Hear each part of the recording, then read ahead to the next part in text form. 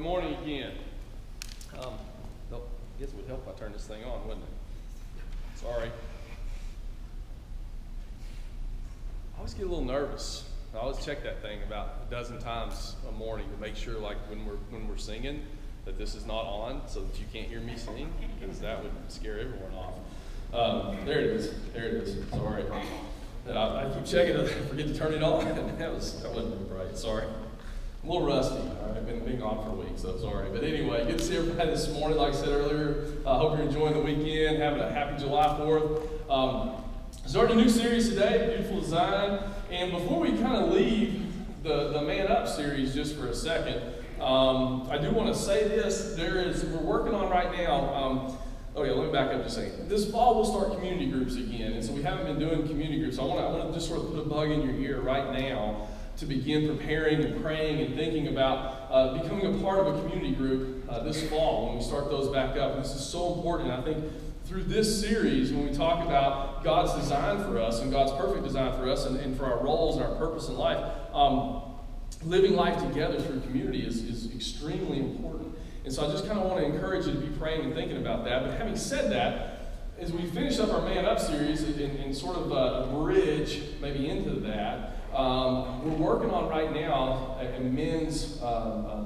study, a men's Bible study for just a, a short few weeks. And, and men, um, and this is not, ladies we'll certainly be working on something for, for you later on, and we're going to talk a lot about, uh, about ladies in this particular series. But men, there's a, you know, we, we just sort of felt like that there was a, um, something that we wanted to, to go a little further in. So there's, we're working on a men's study right now. Um, got a real catchy name for it. It's called Sons of Agony. Um, I don't know if you can, know that really, you know, um, kind of says anything about the series. But hopefully it won't be agony to go through it. But, but I'm kind of developing this. I'm a, I was a huge, when it was on, I was a huge Sons of Anarchy fan. I don't know if you guys ever watched that. It's not a really great show, but but I was a big fan of that when it was on. And so I'm um, sort of playing off of that theme. So guys, be thinking about that. We'll have some more information uh, coming up in the next week and the next couple of weeks and start that sort of between a bridge time between now and when community groups start. So if you might be interested get you involved in that in some way. Um, and we, we talk about doing a couple fun things, just, just kind of guy things, hanging out. But um, just be thinking about that praying about that. But our new series, Beautiful Design, we're going to be talking about what is God's design for us? What is God's purpose for us? And how, how is it that we how is it that we know that? How, how do we figure those things out as men and women um, throughout our lives? And one of the things, and you saw it in the bumper video, uh, one of the things that we find is that culture is always shifting and changing. Our, our culture, I mean, think about it. Think about what was acceptable in culture a decade ago, two decades ago, right? Uh, 50 years ago. What, what culture said was right and, and acceptable. Um, I don't know if I, I, saw a great movie, or I thought, I don't say great, it was, a really good movie, I thought. Um, just the other night, went to see uh, Free State of Jones. I don't know if, you, if anybody, anybody seen that yet? Anybody seen that? No? Have I seen that? Okay, you saw it. It was a really good movie. I, I felt I, really liked it. And, and one of the things that we look at, and I was thinking about this series as I was watching the movie, and about how things have changed so much.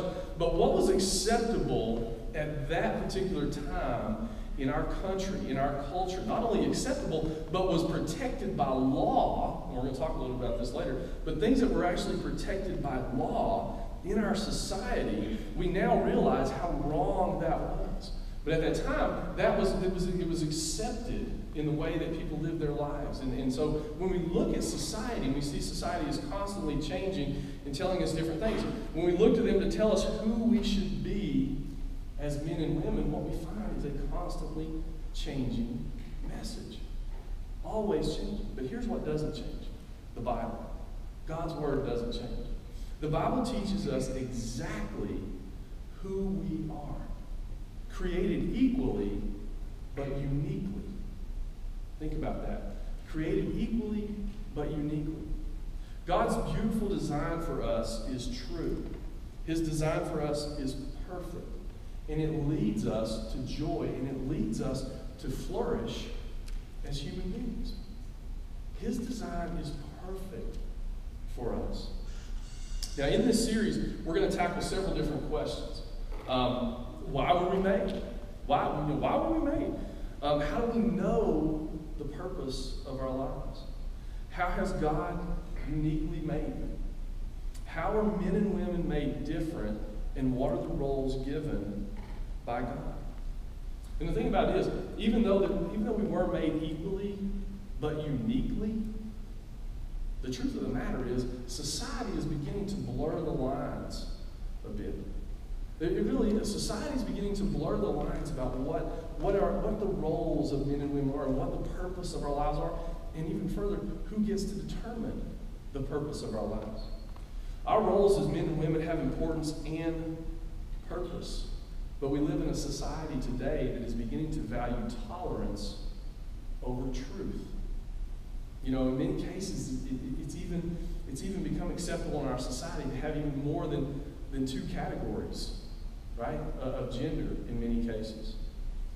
There's no longer an objective truth from a creator about who we are and what our purpose is. We believe that the creation itself can determine its own purpose and its own role in life. And, when we do this, when we get to that place where we say that, that the creation itself can then determine its own role and its own purpose in life, what we do is we create a, an endless subjective spectrum in our lives where, where people can do whatever they want. Now, the problem with this, the problem with this is that our Creator did create us how He saw best. He did create us in a way that He saw best. God's, God's purpose, God's design for us was perfect. God's design for us is perfect still today. But yet, we have destroyed that perfect and beautiful picture and that perfect design of what we, are, what we were set out to do. Now, that's kind of some heavy stuff. And, here, and here's the thing we, we've got to approach this topic, I think, in a very specific way. And we must always approach this topic in grace and in truth. Always with grace and truth. And I'll be honest with you, I think a lot of times uh, in our society that, that's something that's missing. I think that's something that's missing. I, th- I, think, I think we approach this topic many times from a different place. And what we want to get across in this particular series is that, that regardless of people's views, we always want to approach them with grace and with truth toward one another. Because that's what we've been given. As Christ followers, that's what we have been given. But in order to do that, we must first grow in our understanding of what it actually means to walk in the design that the Creator had for us. We, for, us for us to actually give that grace and for us to give, to live in that truth, we first must understand what that truth is. We have to gain an understanding. You know, sin basically ruined the world. It, it ruined uh, the ability or, or, or ruined a lot of people's lives in terms of walking in the design that people have, that God created for us. It ruined our lives. It ruined this perfect design that God put forth. People have real struggles. Sin coming into the world for all of us give us all something to struggle with, right? We all sin.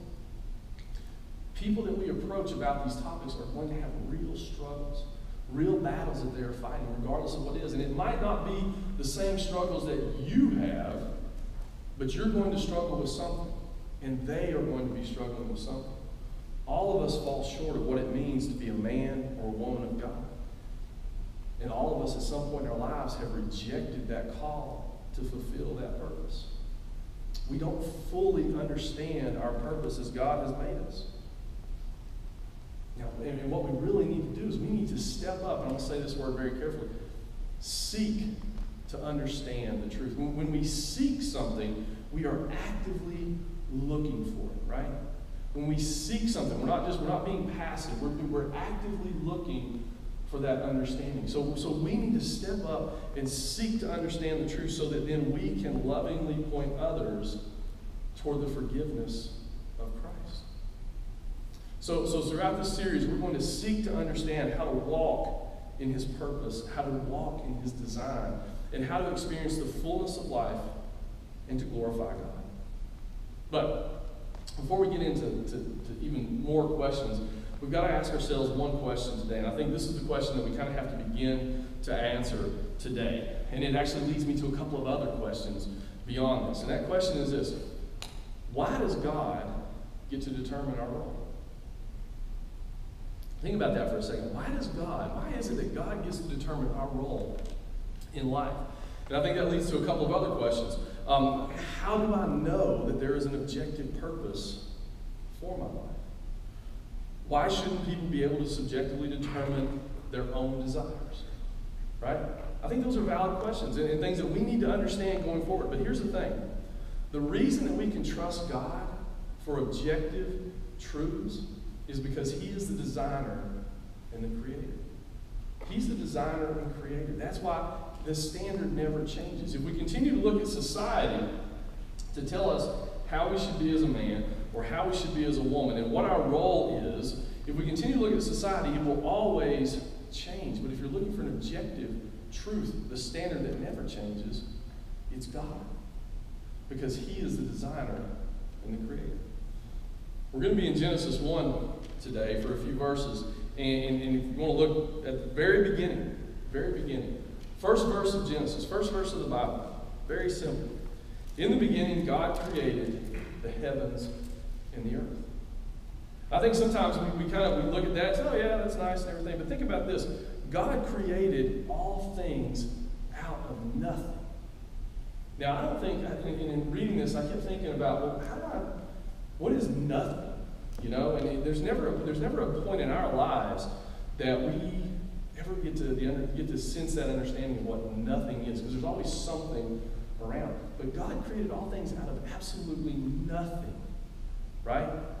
And when you are the creator, you get to determine the purpose. Give an example. Oh, I didn't bring my phone in. All right, your iPhone, right?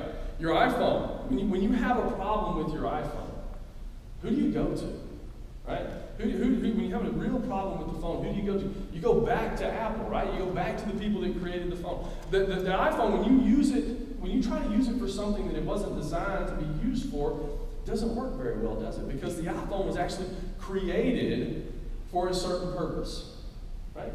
When, when you manufacture or create something in our world today, we're creating it for a purpose. And when, it, when we try to use it for things that it wasn't designed for, it doesn't work. Or when it tears up because of that, we, we, we have to go back to the, to the maker. We have to go back to the manufacturer because they're the ones that actually design it and put the purpose in action for that device, for whatever it may be. The thing about what the world that we live in now, the world, the culture, ourselves, we can never determine how we should live because we weren't the ones who designed the purpose. We, we were the creation. We were not the ones who designed the purpose. So we look to God for our purpose. We look to God for how we should operate, how we should operate properly. And when we see how man and woman were created with a common purpose, a common purpose, expressed, excuse me, expressed in different roles, then we'll understand how to fulfill those roles. Look with me, if you would, in Genesis 1, uh, verse 26 and 27. We read this. Then God said, Let us make mankind in our image, in our likeness, so that they may rule over the fish in the sea and the birds in the sky, over the livestock and all the wild animals, and over all the creatures that move along the ground. So God created mankind in his own image. In the image of God, he created them. Male and female, he created them. What we need to understand is that man and woman were created in the image. We have become, we are the image bearers of God that gets me to my bottom line today, and it's this. To understand our purpose, we must first understand that we are all image bearers of our Creator and made for a relationship with Him. We, you ever, I mean, I, and I'll be honest with you, I, through my life, I haven't thought about this a whole lot, but we are the image bearers of God. We are created by God in His image. Now we're set apart from creation. Okay, there's, there's no question about that. We as we as man and we as woman, we are set apart from creation. We're set apart uh, emotionally. Uh, Uh, we're set apart um, um, mentally. We're set apart spiritually. So we, we as humans are, are set apart from all the rest of creation. We are, we are created in the image of God. Now, God values, obviously, all life on this earth. And we're called to be stewards of the things with which we have been entrusted. We are called for that.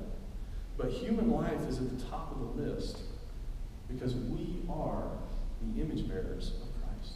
Every day, everything that we do, we are bearing his image. In Genesis 9 6, we read this Whoever sheds human blood, by humans shall their blood be shed.